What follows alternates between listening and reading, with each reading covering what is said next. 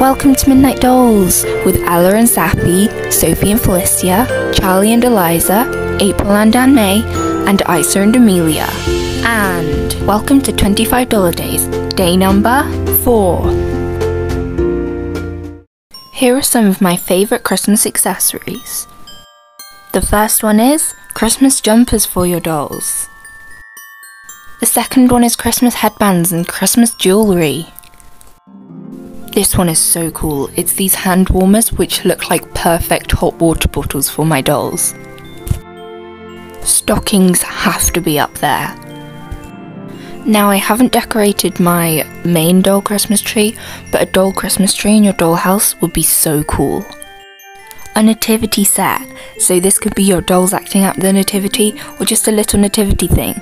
I knitted this one from a set, but you can do it however you like. The next one is just Christmas decorations. It is so cool. Now you have to wrap up warm, so I would suggest a hat, ear muffs, a scarf, and definitely a coat. And then it's just Christmas outfits. You have to get into the Christmas spirit by dressing up. And that's all I have to say, so bye for now. Thank you for watching Midnight Dolls. We would love it if you could check out our friends channel, Butterfly OG Dolls.